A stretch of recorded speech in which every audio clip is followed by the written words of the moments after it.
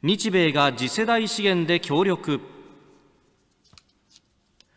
独立行政法人の石油天然ガス金属鉱物資源機構ジョグメックは今日アメリカエネルギー省国立エネルギー技術研究所と次世代資源のメタンハイドレートに関する覚書に署名をしました。アラスカで、えー、採掘技術を共同研究して日本国内での商業化に向け協力していくということであります。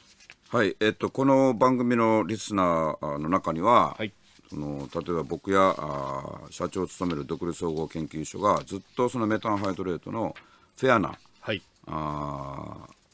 開発ないしは実用化っていうのをやるべきだってことを言ってきたっていうのをご存知の方多いと思うんですけどね、えーうん、だからこういうメタンハイドレートに関するニュースが出るとどっと僕のところにもメールやあのブログへの書き込みいただいて、はい、あの皆さんやっぱりあのこれは前進なのかどうなのかっていうのが一番のね関心事でいらっしゃるんですが、うん。すいません。これあのはっきりとこのニュースはあ大した前進でも何でもないです。それからこれあくまで日本の自前資源の話なんで、はい、その実用化の技術という名目アラスカでやるからっていう話じゃなくてアメリカを入れる必要はありません。でこれあのそもそもですねアラスカのこのあの凍った土のところで、えーじえー、実用化に向けた技術実験ってのずっとやってるんですよ今までも。すでに。はい。でこういうふうにこうアメリカと正式にタイアップしますっていうふうにこうあの世間に見えるようにやったのは最初だけど、はい、アラスカでずっとやっててそれは何をやってるかというとですねあの日本でいうと太平洋側に多いタイプ砂層型って言いまして、うん、まず海のとても深いところにあるケースが多い。そして、えー、例えば南海トラフって場所でいうと海洋調査船のいるところから4000メートル下の海底にたどり着きそこに、はい、えー、ないから、うん、さらにえー、平たく言うと泥、まあ、正しく言うと堆積物を700メートルぐらいまで掘って、ようやく、まあ、あのちゃんとメタンハイドレートあるのは見つかったんですけどそこで砂と混じり合ってるしかも分子レベルで混じり合ってるから、はい、5000メートル近い下からあのやっと取り出してもですね、うん、そこから先砂とより分けなきゃいけないっていうことでコストがかかるんですよ。はい、で資源っていうのはどれほどたくさんあっても実用化にコストがかかったら、うん。あそれは実は資源として実用化できないんです。はい、であのこういう誘う方もいつかは必ず実用化の時代が来ると思いますけれども僕らが長年言ってきたのは、うん、その日本海の側に多い実は太平洋側にもあるんですよ。でも日本海に、えー、特に多い表層型、はい、つまり、えー、比較的日本海はそもそも海浅いですから、うん、浅い海例えば1,000メートルぐらいの下にその純度が非常に高いメタンハイドレート世界で最も良質と言っていい凍った天然ガスがですね、はい、むき出しになっているところがあるわけです。で、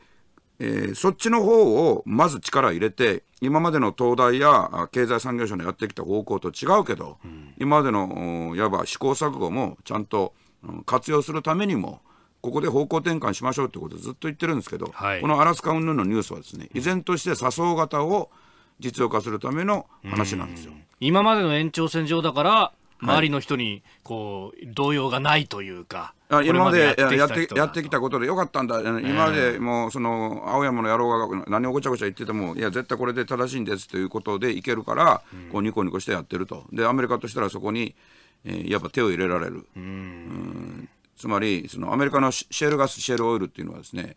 あの DOE ってアメリカエネルギー省です。日本のエネルギー庁よりはるかに